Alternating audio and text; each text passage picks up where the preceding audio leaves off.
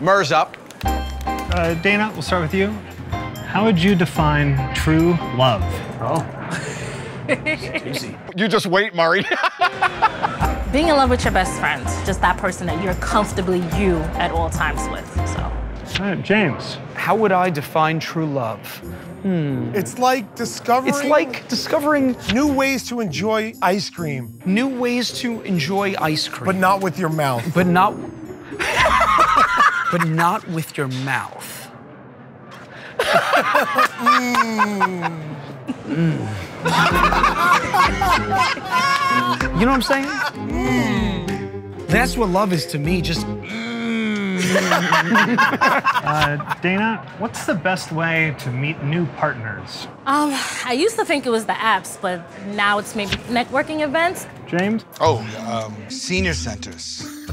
Senior centers. Okay, I find a hot granny. You find a hot granny. And then find her granddaughter. And then you find her granddaughter.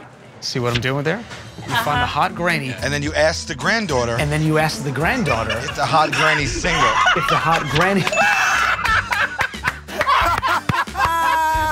you ask the hot granddaughter if the grandmother's single. Are you serious? Next question. How do you know when it's time to move on from a partner? How do I know when it's time to move on from a partner? Sirens. Sirens. you hear the sirens, it's time to move on. sirens.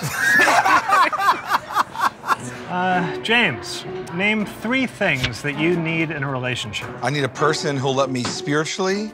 I need a person that'll let me spiritually, emotionally, emotionally, and physically, and physically dominate them. Dominate them. Hmm. Hmm. Next question. What's one piece of advice you'd give to a newly married couple? If you have, if you have a fight. Well, if you have a fight. No matter what. No matter what. Don't ever go don't to bed. Don't ever go to bed.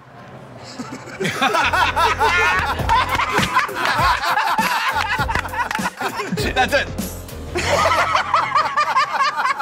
All right. Thank you both so much. That was fun. Thank you. Completes the questionnaire. Can I just say your answers are much better than mine? Clearly.